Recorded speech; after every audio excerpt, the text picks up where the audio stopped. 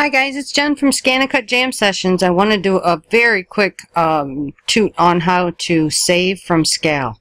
Um, people are running into some issues.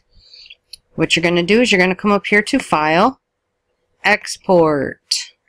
This will bring up this screen. Come over here to your computer icon. Click on that. And of course the whole system takes forever. Find your USB stick. Mine's an HP. You click on that. And then, it's my phone going off.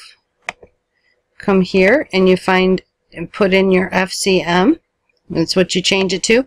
And then you name it. Um, we'll just do a gear. And then you can either hit save or you just hit enter. There it is. That is all you have to do to get your uh, file over to your stick. Thanks, guys.